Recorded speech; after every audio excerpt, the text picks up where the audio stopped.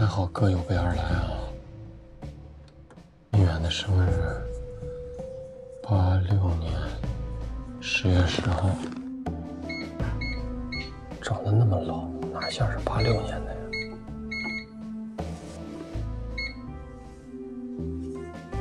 谭豆豆，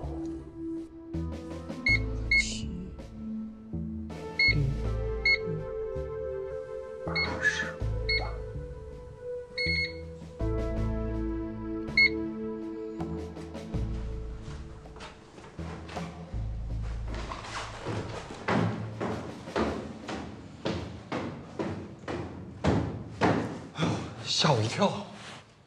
哟，小梁，你怎么在这儿啊？刘姥姥进了大观园，不得开开眼啊？这画不错。啊，是吗？你还懂画啊？懂一点儿。呃，一看就价值不菲嘛。怎么着？你是怕我偷你们家宝贝过来监视我呀？哎呦，我们家哪有什么宝贝啊？谭豆豆不喜欢那些东西，我都给扔了。那这画儿，他画的呀。你这么聊天就让人很尴尬了。哎呀，你们选过的牌吧？怎么到我呀？嗯，愿赌服输啊！真心话还是大冒险？选一个。我，我大冒险。行，那那游个八个来回吧。游泳啊？对啊。你不大冒险吗？哎，你哎，这么冷的天，别折腾我了。大冒险。必选。呃呃，就这样，我模仿一个动物，你们随便选，好不好？好吧。嗯，水母吧。水 水母，水母，水母。行了吧？干嘛呢？刚才来再来一个水母啊！什么什么母？水母。玩什么呢？你玩不玩？玩啊！什么？来来来来来，还再加一张牌，加一张牌。拍够拍够拍够。这儿呢，这儿来加一张，加一张来。OK。来来来。哟啊！你的，这是你的。嘿嘿。来，一二三，亮牌。哎，老天有眼呐！真心话还是大冒险？你选。嗯？你们想让我真心话，我就真心话；想大冒险就大冒险。大冒险啊，那必须。好，大冒险。大成。啊？不是我，我是觉得吧，不是不能大冒险啊，但是我就认为靳总啊，肯定是个很有很多秘密的人，他就不敢选真心话。有什么不敢呢？那就真心话，没问题。真心话。汉子。好，那就真心话。真心话。嗯，我想问的是。啊，不，等等，怎么能你问呢？举贤举正要避亲，明白吗？虽然我们是玩游戏，也要认真一点。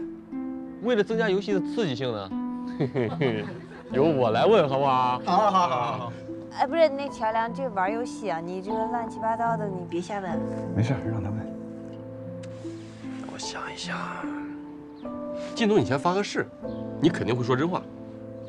我发誓。我什么都能问。我问了，你肯定说。你最常用的密码是多少？八六三七零九四五。哎，什么呢？多多多少？八六三七零九四五。那个妹妹妹，我其实这个问题是替你问的，你明白吗？俩人在一起，这个经济大权要牢牢的掌握在自己手中啊！你看他听清楚他说多少了吗？你你你重复一下听听。八六三七零九四五，还用你问啊？我早就知道了。你看，这种问题。下一轮。那。哎呀，洗一洗。好，来，发牌了。你的。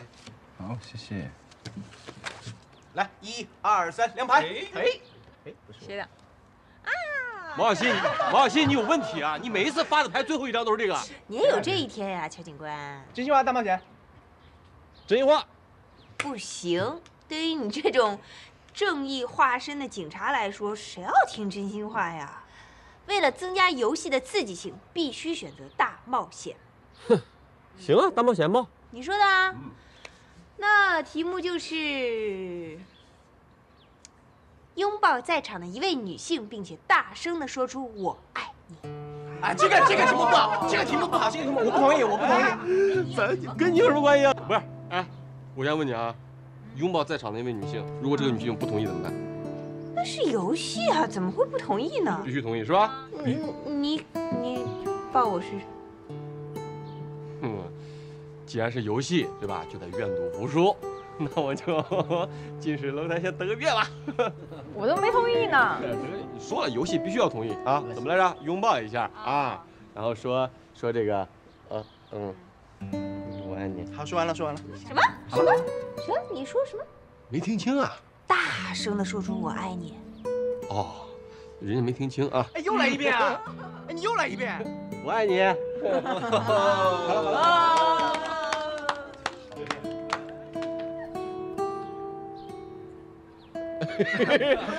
都是你，搞得好尴尬。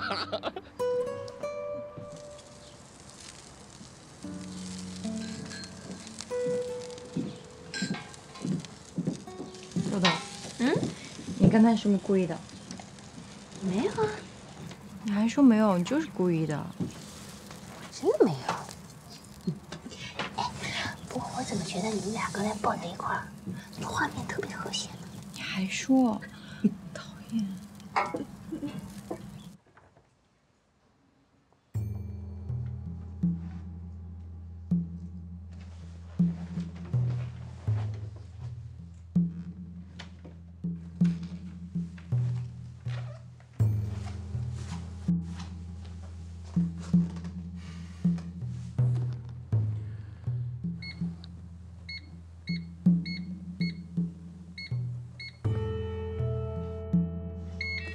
芝麻开门。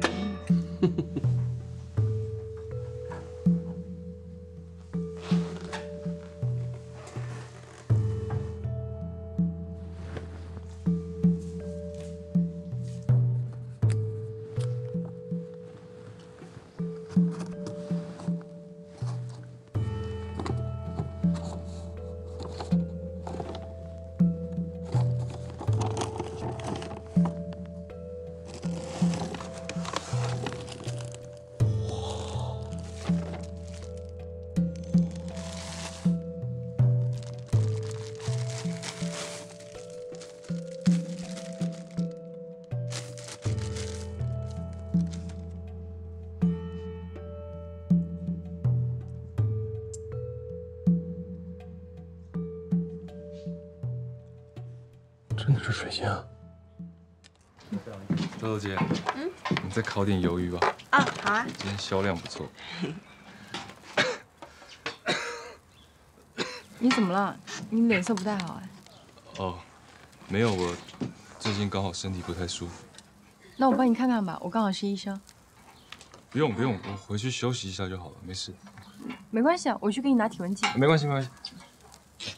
不然不然这样的话，就麻烦你考，我先回去休息好。哦，那也行。静安，哎，少阳他不太舒服，病还没全好呢，我先让他回去了，好不好？行。走吧。真的没事吗？没关系。那走吧。回去吃药啊。不好意思啊，没事。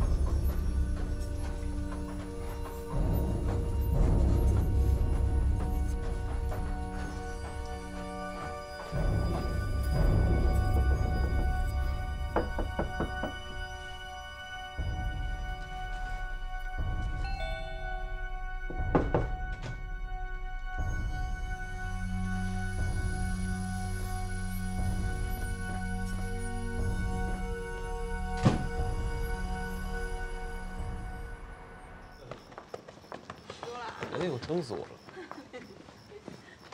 谢谢款待，九叔做的东西真好吃，我们下次再来。谢谢，欢迎常来，那就常来了啊，常来。行了，忙了一天了，赶紧回去吧，别送了。慢点啊，拜拜。拜拜。开车慢点。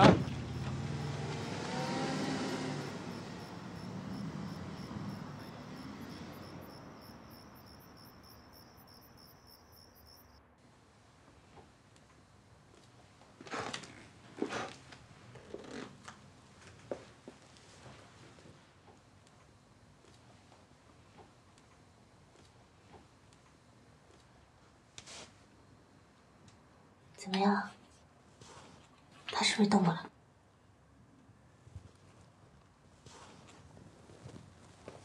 耶！我还正想着我怎么样不动声色的把密码告诉他呢。这下一箭双雕了吧？把真黑猫警长和假黑猫警长弄到一块儿去了。快，夸夸我，我厉不厉害？不要得意忘形哦，谭豆豆小姐。不过他们不会真的老来咱们家吧？你看刚才把九叔给吓的。还真不一定。乔梁跟你一样，都是不按套路出牌的人。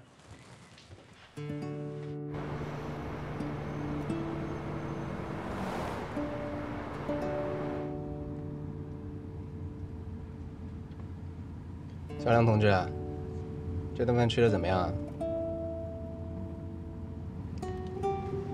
出于一个女人的直觉，我也觉得静远没问题。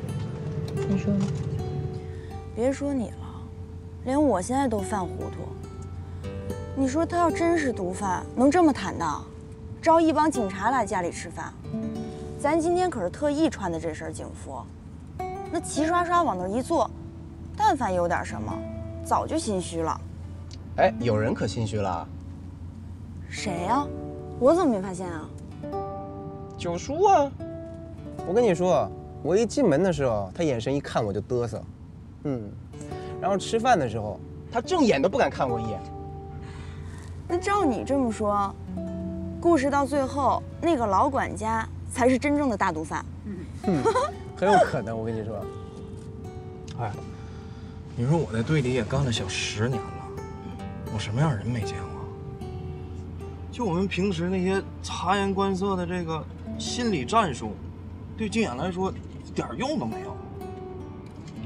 每次都觉得马上要看到希望了，然后结果啪啪打脸。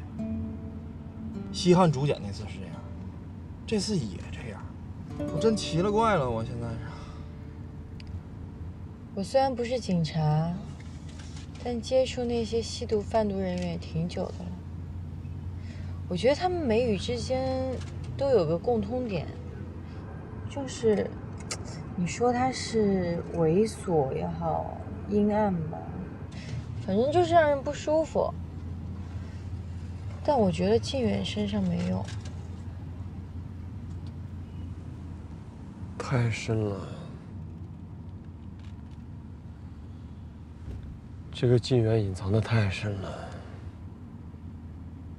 我就知道他没那么好心，只是请咱们去他家吃顿饭。